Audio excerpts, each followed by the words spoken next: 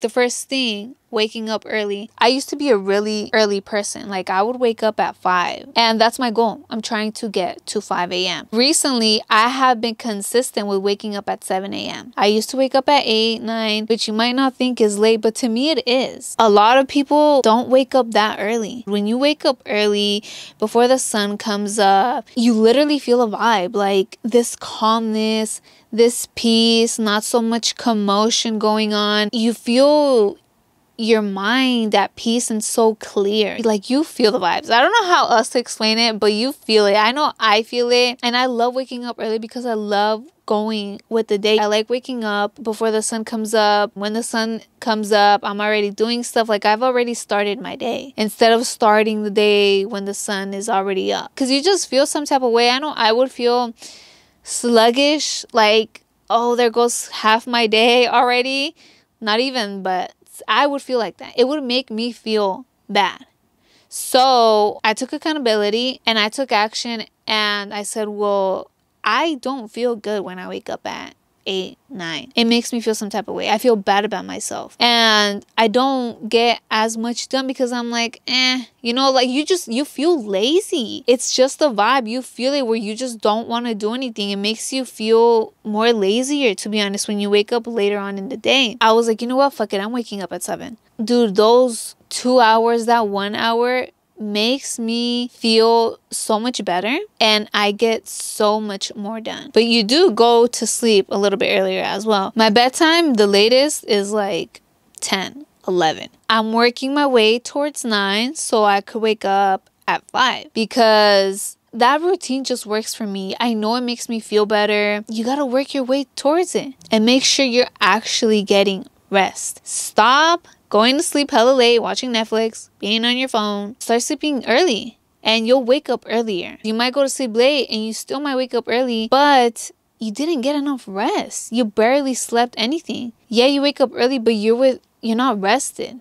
You know, your body just doesn't it's not the vibe's not there. The energy is not there. You know what works? Creating a healthy night routine. Instead of watching netflix instead of scrolling on your phone on tiktok read something. Journal.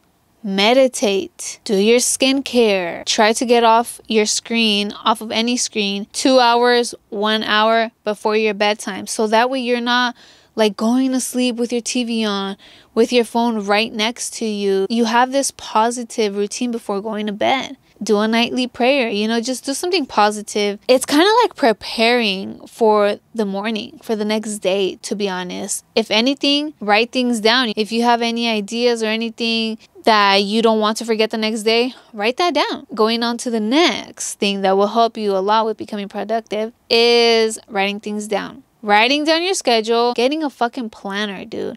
I got my planner a week ago and I started planning. When you write things down, anything, goals, your schedule, it's gonna get done. That means it's going to get done. You know, that's like the first step. It's kind of already done, to be honest, because it just makes you feel more like, fuck, I need to actually do this. If I wrote it down, it needs to get done. And a planner doesn't only help with getting things done, but it helps with organization. Your life being organized, your mind being organized. Because instead of just keeping in mind, I have to do this next, I have to do this, thinking about the 10 things you have to get done, you overwhelming yourself, feeling anxious, thinking it's like a hundred things you literally have to do when it's only like five and you're not clear. You're not clear about what you have to do.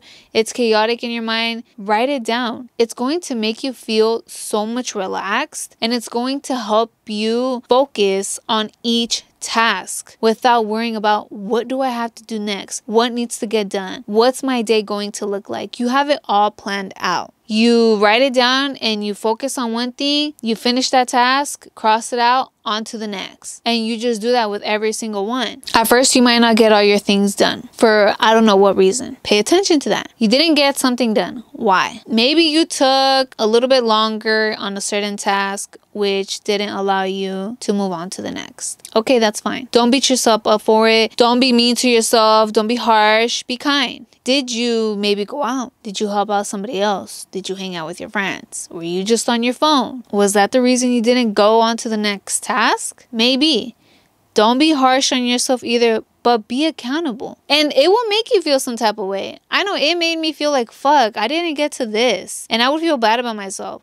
Like, I didn't choose me. I chose, if I hung out with somebody else, I chose this person over me. Now I would feel bad. Feel it. okay, you feel bad? All right. But now you know for next time, you have to choose yourself. You have to choose you first. You have to get your things done. Get all your things done before you go out, before you hang out with friends. If you want to go on your phone, before you go on your phone. Get everything done. That way you don't feel bad about yourself because you don't want to feel like that every single time. Learn from that. Be accountable. And that's how you build discipline. That's growth. When you learn from something, when you learn the lesson, you don't want to repeat it. You don't want to keep choosing other people over you, over your things, over your tasks. No. You want a better tomorrow? Then plan it. That's like manifesting it. You see the vision for tomorrow, you see it, you write it down. It's gonna get done, dude. That's how it's going to be. I see it as manifestation. You know, when you write things down, that's manifesting. When you say things, that's manifesting. Do better today for a better tomorrow. Eating healthy, my peeps, is such an important one. I would say is the most important one because it's what you're consuming what's going inside your body. And what you consume, what goes inside your body, has a lot to do with everything. Eating junk food will have you feeling like junk. It will have you not wanting to do anything. It's low vibrating foods. What do you want to do when you're eating chips, candy, ice cream, fast food? You don't want to do anything. You just want to chill, chill in Netflix and chill. You don't feel like doing anything productive. You don't feel like reading. You don't feel like going out for a walk. You don't feel like meditating because it brings you to this lower frequency. It'll have you looking like junk too with the acne. And that's one thing that people always complain about. I'm a makeup artist, so I do makeup on other people. People are always complaining about their skin. And they ask me, what do I do to keep my skin looking so popping?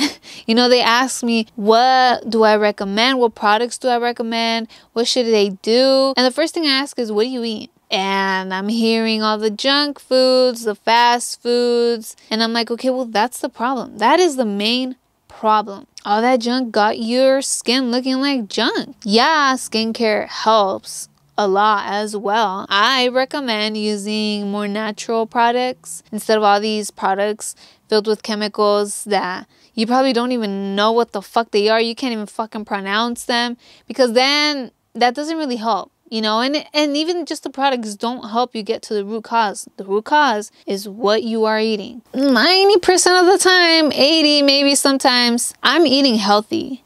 I drink my juices. I eat my fruits I eat my veggies. People don't seem to believe that, and you probably are not believing it either. But what you eat has a lot to do with your appearance, with your skin. like, I'm drinking my orange juice right now. Fruits, your veggies, drinking your juices, that's the way to go. That will help you get clear skin. And your skin isn't always going to be nice and smooth and clear. We all have pores. We get a pimple here and there. I'm not saying I eat perfect all the time. Sometimes I have chocolate, you know, I like sweet stuff. I have a chocolate here and there. I sometimes have dairy. My skin doesn't like it, which that's why I don't have it all the time. But, you know, sometimes I have it. I'm not a vegan, I'm not a vegetarian. I'm not telling you to stop eating all these foods forever, that I eat the most healthiest. No, but it's about just eating healthier, being aware of what certain foods do to you, what it does to your body, what it does to your skin, how it makes you feel, most importantly. The fruits help me feel good. The veggies help me feel good. They don't make me feel bloated. They give me that real energy.